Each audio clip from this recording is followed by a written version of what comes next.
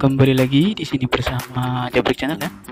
Oke, ceritanya nih habis eh, ngantar BBM di SPBU karena sudah eh, selesai. Eh, ini mau balik lagi ke pangkalan. Oke, sebelum jalan ya kita cek lagi untuk eh, nyala lampunya seperti ini ya. Nah, seperti ini. Untuk wiper di sini aktif ya dua-duanya. Oke, dan untuk buka pintunya langsung ya, kanan kirinya bisa dibuka seperti ini. Oke, dilanjut untuk uh, bagian apa animasi ya. Nah, ini dia yang pertama nih kepala truknya ya. Bisa diangkat seperti ini. Untuk animasi yang kedua nih di bagian belakangnya ya atau atau kepalanya. Bisa dicopot seperti ini. Dan untuk animasi yang ketiga ini kepala truknya bisa miring ya sedikit. Nah, seperti ini. Oke, eh, dilanjut ya ke bagian dashboardnya kita lihat. Nah, ini dia seperti ini. Oke, langsung aja kita jalan ya. Kita gas aja pelan-pelan dan di sini saya ditemani sama Mbak Gina ya. Uh, tidak sendiri saya. Oke. Langsung aja kita gas ya pelan-pelan.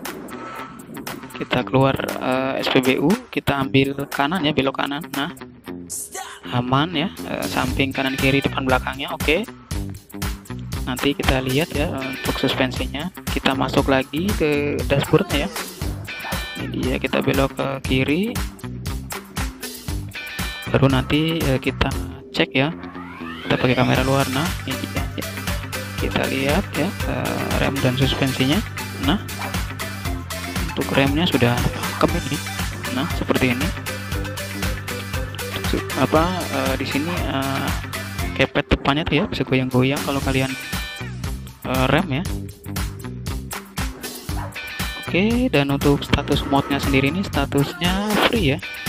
Alias gratis jadi buat teman-teman yang mau download mod truknya silahkan aja uh, cek aja linknya di bawahnya ya. Nanti kalian download uh, nanti ada dua varian kalau nggak salah dan juga di sana ada dua livery ya. Oke untuk kecepatannya lumayan juga nih ya kencang juga.